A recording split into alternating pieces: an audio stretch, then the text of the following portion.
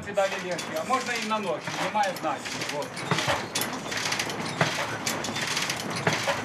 Ззаді, якщо ви стоїте... This experimental aircraft stays in the air by flapping its wings. Each wing weighs around 10 kilograms. The device's creator calls it a quote, flappercopter.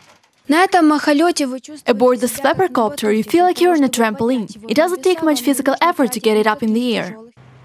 Volodymyr has been dreaming of flying since he was a little boy. In 1985, he started to experiment with unusual aircraft designs, which led him to make this model. It is completely DIY, even the wings are sewn by hand. It took Volodymyr 10 weeks to complete his creation. Мне нравилось тени облаков, ветер.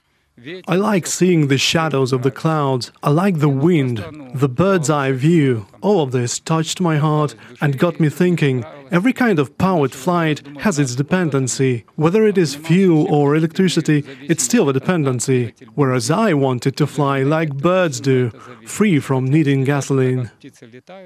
The inventor continues working on improving the design of his aircraft. Whenever Volodymyr needs a break from complex engineering, he paints. Я хорошо владел карандашами цветными. I used to be good at drawing with pencils, but now I switched to painting. I like to fantasize. Here's a girl with a dog walking out of the forest and into a bright world where everything is wonderful. Here's the flight of swans, because we always want to fly away somewhere. Снято в сарае. Volodymyr plans to sell his flappercopter to invest in a professional aircraft building business.